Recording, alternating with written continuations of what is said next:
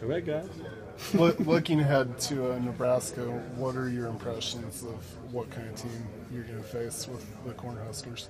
Yeah, they're a really good football team. I think they're going to be big, physical. Um, you know, it's it's tough to beat a team like that on the road, but um, you know, what we've seen from us as a team is BYU, and I think we're very capable of it, and we know what we have ahead of us, and we've been preparing for it. What are your thoughts on that, the schedule for the first month, facing so many big name opponents with such traditions? Yeah, super excited. I think, um, again, looking to the guys that we have on our roster, uh, we're very capable of going in and competing and, and beating all these teams. And um, so I look at it as a lot of opportunity for us as a, a football program and me individually.